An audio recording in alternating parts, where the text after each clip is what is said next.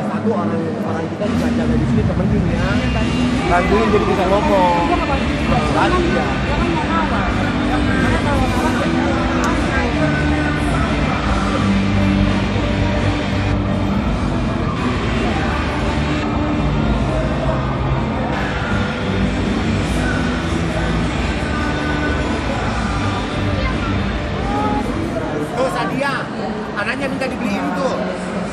Tuh dia udah megang yang hijau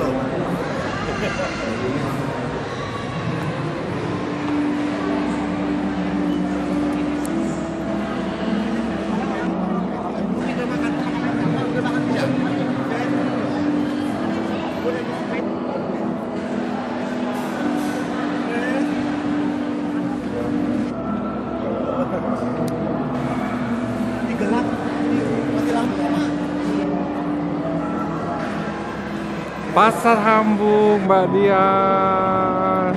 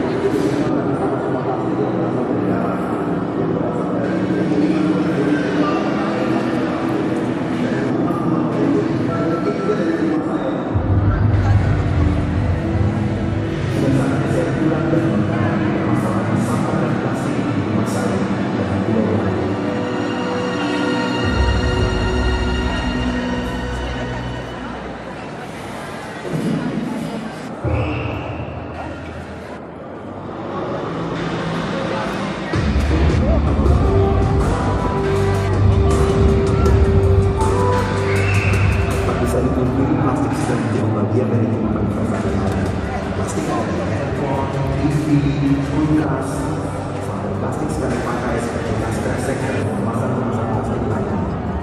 Nah, plastik sekali pakai inilah yang kita hindari. Tapi dalam realita, masih bisakah kita belanja tanpa plastik sama sekali? Kemudian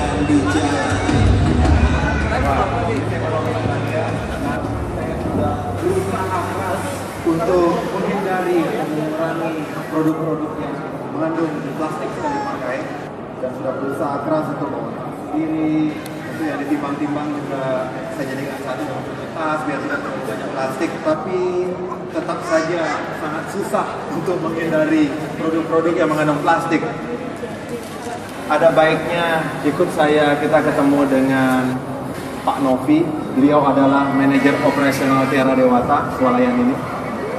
Saya juga pengen sekali tahu bagaimana pihak manajemen menyikapi rasa gundah saya ini. Ayo ikut saya.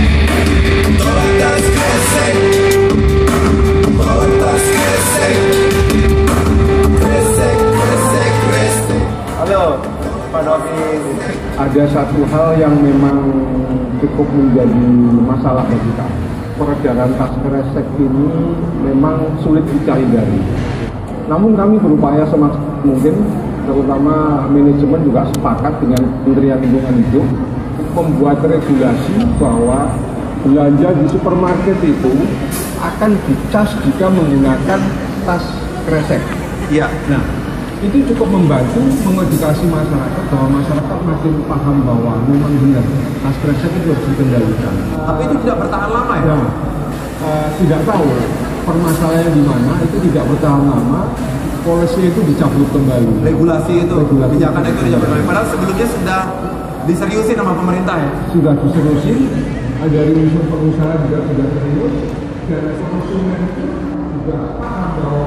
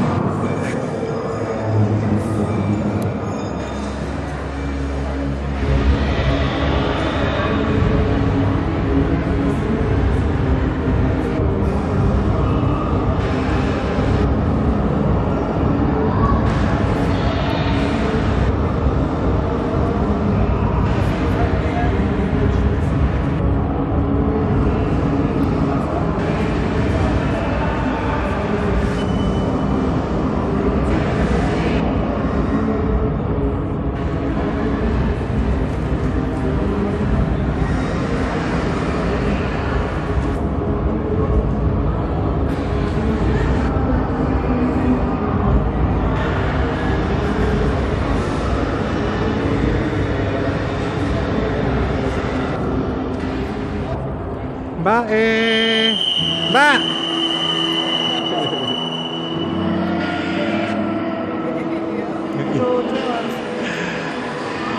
Ini dia ketuanya Pasar Hambu. Gimana kesan-kesannya Mbak? Di hari pertama, Mm-mm. ya oke ya ini lumayan mengasingkan, Aha. udara bagus, Oh, jadinya ya. kita berkompetisi dengan udara dengan dengan cuaca, tapi positif. Positif Ya, ya. masih dalam keadaan fit, siap Oke. besok untuk one more day, One more day. dan Silvia, duit. Sukses-sukses terus ya Mbak ya. Terima kasih, Reza.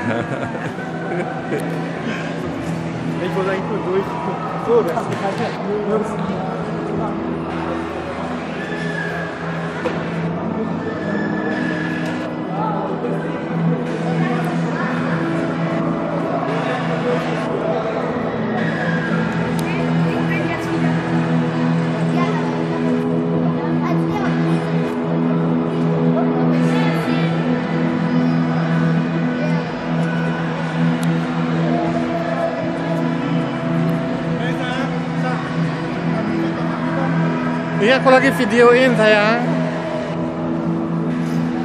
This is my international group, you know. Oke. My Fusion Nation. This is Faven from Ethiopia? Oh, Ethiopia. Ah, Ethiopia, Nur from Syria. Syria. Oh, forgot his name. Just joking. ini just video. Oh, it's a video. Video. Oh Sorry. Hi. Hi, Pastor Hambu. Hello. From Ethiopia, Addis Ababa, or? Oh my goodness! and Syria, and Algeria. Algeria. Okay. Parlez-vous français? Un petit peu. Okay. Have nice good day ya. Yeah, so now please, uh, you still. Aduh, gua lagi videoin tadi.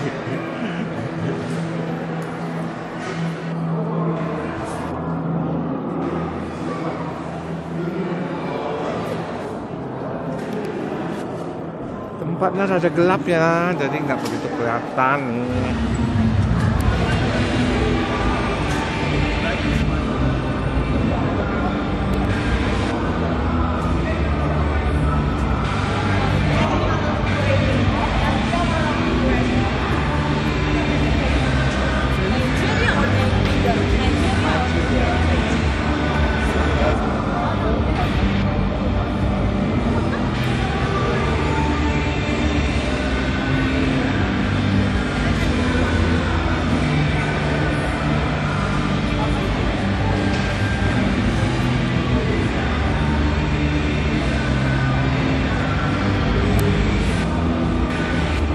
Agak gelap ya.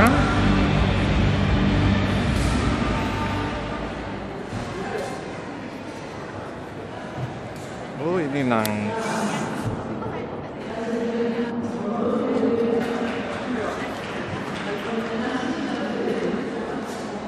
This is nice actually. Agak gelap, nggak kelihatan.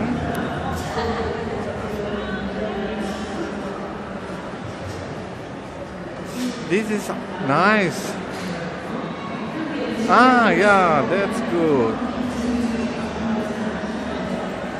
Ooh, this is good. No, what is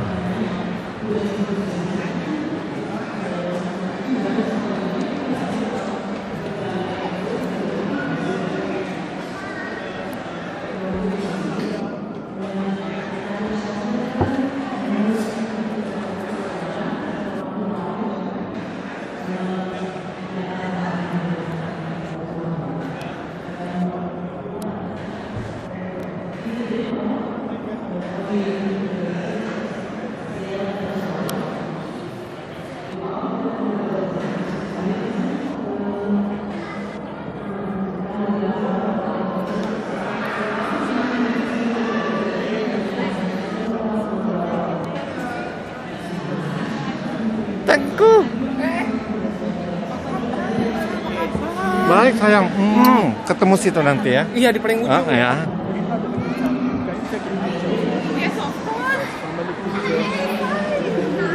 Mbak Yanti.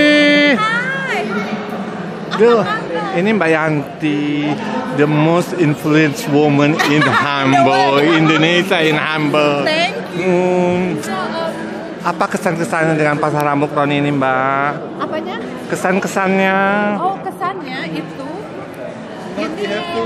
yang selalu setiap tahun itu selalu ramah lingkungan, Oke. menjauhkan yang hal-hal yang plastik-plastik. Terus sudah begitu juga ragam programnya dan selalu demi Indonesia. Oke. Ya. Sukses-sukses ya Mbak. Oke, I have to take picture. Bang, jalan-jalan.